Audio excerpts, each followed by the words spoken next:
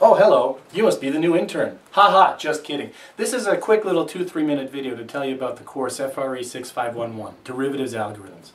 That's what it's called in the syllabus. That's what you're, if anyone asks you what you're taking, that's the name of the course. To me, though, I think of it as financial hacking. Because what we're trying to do is figure out quick ways to answer questions of importance in the financial world.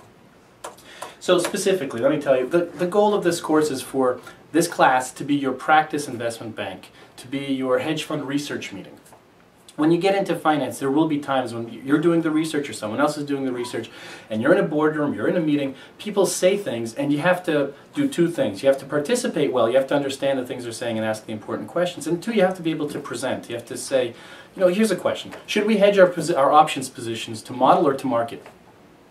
Hey, you're the new guy. You go figure it out and come back in five minutes and tell us about it. How are you going to do that? There's no way to do that in five minutes with just math and just figuring out equations. There are mathematical solutions to that kind of question, but you don't have, you can't do it in five minutes. What can you do in five minutes? You can hack your way out of it. You can do some simulations, figure out some things. You'll get really interesting results. You'll answer the question in the detail and the with the intuition that's required, and that's the key point, is building your financial intuition.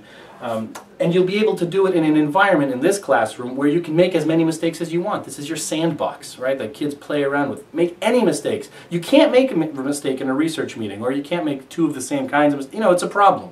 Here you can, and you get those out of the way so that you become a productive member of society in Wall Street.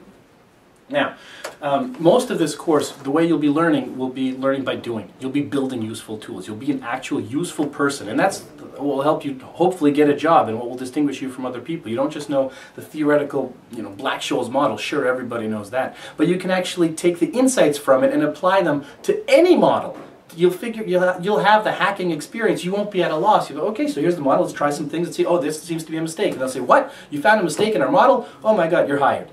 Um, in this class, I will probably not have any slides at all, uh, certainly past the first week. Uh, in, in, fact, the way we'll, I'll try to run it is I want you to be able to try to get inside the brain of a, of a trader, and I want to train you to be a trader or at least a trader's assistant or something so that you can be useful in the context of the front office. So we'll be doing live calculations, live experiments in class, sometimes things that have never been done by anybody else in the world. Uh, and many of your homeworks will be done that way. The projects are intensive, you can use any programming language you want, but ultimately you have to create some sort of tables or graphs or charts or reports.